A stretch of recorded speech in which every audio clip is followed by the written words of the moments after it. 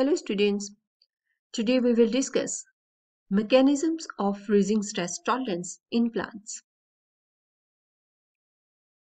Low temperature constrains plant growth and restricts productivity in temperate regions. So under low temperature stress plants need to maintain cell behavior and activity. And in particular, the stability of the cell membranes and structure of the proteins with biological activity for survival in adverse environmental conditions. The exposure of plants to sub-zero temperature leads to ice formation in plant tissues. As we have already hmm. discussed in our previous lecture, higher concentration of active ice nucleators in the apoplastic solution of plants leads to a higher freezing point. As a result, ice crystals first form in the extracellular space of plant cells. Ice formation outside cells reduces the water potential of the apoplastic solution, which leads to water flowing from the cell. Therefore, freezing stress at cellular level is often followed by dehydration stress. Ice crystal will lead to an increase in electrolyte leakage and uh, membrane lipid phase changes then, right? As the freezing continues, Osmotic forces produce cellular dehydration, which facilitates the formation of intracellular ice crystals. At the extreme, ice crystals can puncture cell, plant cells and lead to cytosol outflow and ultimately causes the plants to die, right? Therefore, preventing uh, uh, formation of intracellular ice crystals and avoiding growth of ice crystals are important for plants to tolerate cold stress. Plants use two different adaptation strategies to withstand or uh, survive cold uh, temperatures, freezing avoidance and freezing tolerance. Supercooling process is a prevalent mechanism of freeze avoidance in which water remains in the liquid state at sub-zero temperature, preventing intracellular freezing and limiting cell dehydration. Freezing tolerance instead effect physiological, biochemical, and epigenetic changes that allow to the plant respond to cold stress. The most popular approach used by plants to deal with this low temperature stress is cold acclimation, which allows plants to survive freezing via accumulation of cryoprotective polypeptides. For example, COR15A and osmolytes like soluble sugars and proline, etc. Now we'll start with the mechanisms of freezing stress tolerance. Cold stress limits geographical distribution and influences plant growth development and also yield. So plants have evolved complex biochemical and physiological, uh, physiological mechanisms to adapt to cold stress. So these mechanisms are regulated by a series of transcription factors and proteins for efficient cold acclimation, right? So first is ICE CBF COR pathway. ICE inducer of CBF expression. CBF C repeat binding uh, factor and COR cold responsive genes, right? ICE is a CBF regulator and CBFs control the expression of COR gene when cold stress takes place. COR gene is a critical gene that is responsible for chilling tolerance and cold acclimation processes in plants. Now listen, under normal conditions, CBFs are regulated by circadian clock and the photoperiod. Under cold stress conditions, however, CBFs induce several cold stress related genes to regulate the cold tolerance of plants. So expression of CBFs, just look at this diagram. Here are the C-repeat binding factors.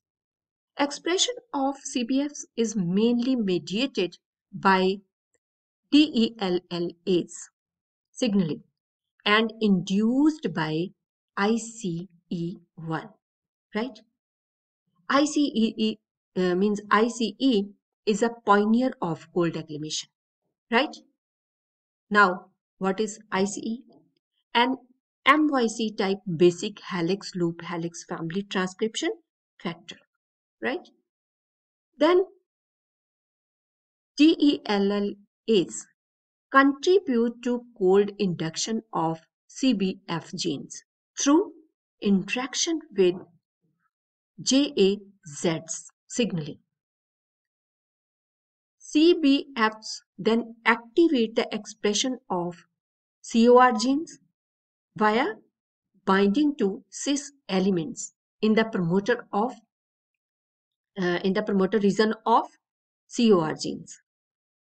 And results in the enhancement of cold tolerance in plants.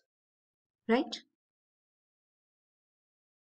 Next is physiological mechanism involved in cold stress tolerance. Cold tolerance in plants is a complex process. As complex process, mechanism of cold stress in plant is not only controlled by ICE CBF COR gene, but also other factors such as hormones, circadian clocks, and lights are involved, right? So a short day in early autumn represents the first initiation of cold stress right? So this is first enunciation of cold stress. Just look at this diagram. Here, AFPs and PIP2 to 7 means when cold stress is there, ice crystal uh, formation starts. Plant is having AFPs and PIP2 to 7 slow that slow ice crystal formation and to maintain cell membrane and reduced cell membrane injury right?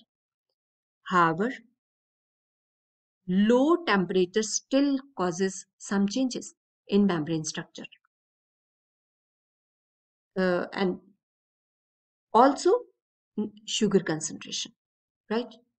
And in production of cryoproteins. Means these are the changes that low temperature causes. I'll repeat. What are these changes?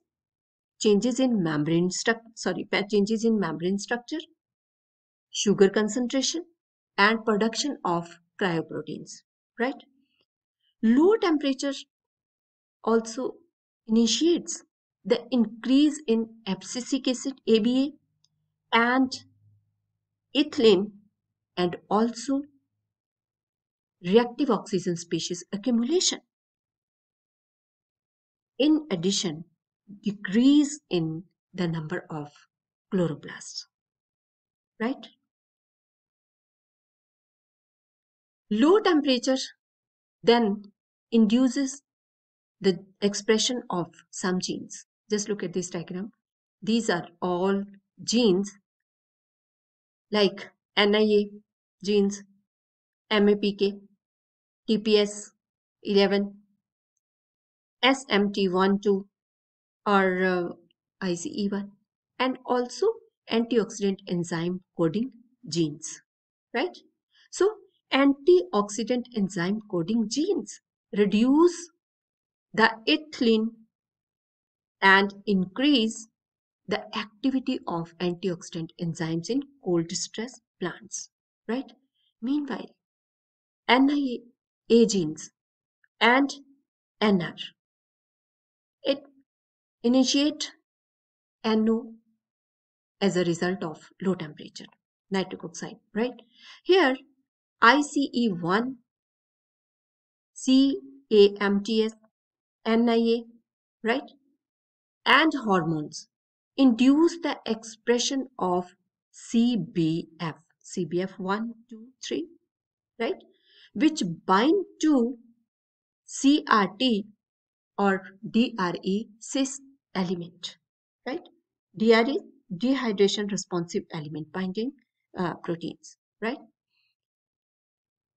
To uh, this cis element to enhance cold tolerance. Then CICE1 to CBFs, it induce expression of cold responsive genes. These are cold responsive genes. KIN1, then um, this uh, RD29A, COR47A, right? So, so uh, then means expression of these cold responsive genes, then induced, right? And ultimately lead to cold tolerance, right? So this is all about the mechanism of freezing stress tolerance in plants. Thanks for watching. If you liked this video, please make sure to subscribe for more. Thank you.